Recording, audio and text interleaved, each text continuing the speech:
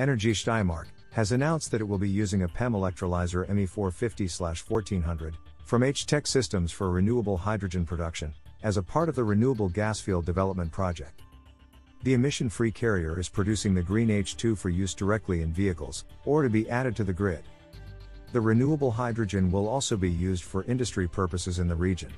For instance, a Styria region mining company in Austria will be receiving up to 70 tons of the green H2 per year from the Energie Steiermark plant. The company intends to continue to work on improving the sustainability of the H2 production. The electrolyzer itself will begin construction as soon as mid 2022. The construction of the renewable gas field facility will take place under E Steiermark project management in southern Styria, at Gabersdorf.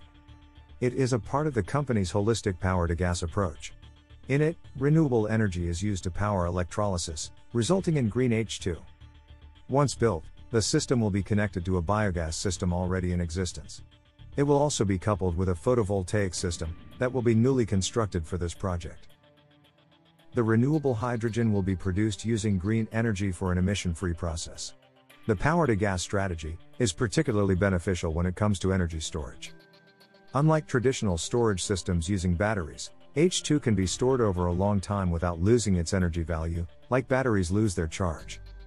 Another component of the project is that the clean H2 will be fed into the existing natural gas network. The H2 will be mixed with raw biogas produced by the biogas plant. This will make it possible to implement a CO2 neutral form of methane that can then be fed into the natural gas grid. This strategy will provide enough green natural gas to supply 60 single family dwellings per year.